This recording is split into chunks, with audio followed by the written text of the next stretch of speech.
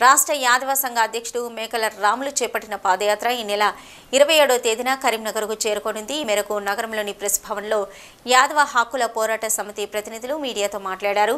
ఈ సందర్భంగా యాదవ సంఘం ఆధ్వర్యంలో రూపొందించిన కరపత్రాలను విడుదల చేశారు.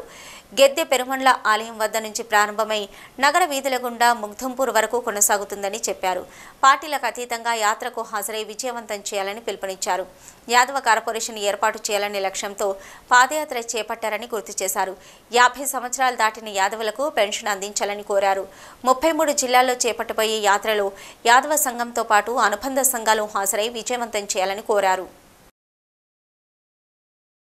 మరి ఆదివారం రోజు మన గిద్దె పెరువాళ్ళ వద్ద మరి మేకల రాములు యాదవ్ లాంఛనంగా పాదయాత్ర స్టార్ట్ చేసి మరి ముగ్దుంపూర్ వరకు సాగనున్నది.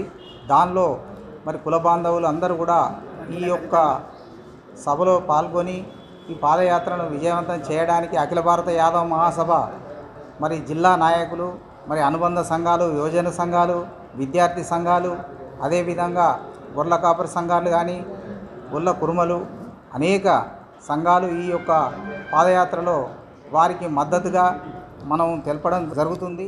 ఈ నెల ఇరవై ఏడు నుంచి గిద్దెపెరుమల గుడి కట్రాంపూర్ నుంచి అక్కడ శ్రీకృష్ణుని ఫోటో దగ్గర కొబ్బరికాయ కొట్టి అక్కంచెలి ఈ యాత్ర సాగుతుంది.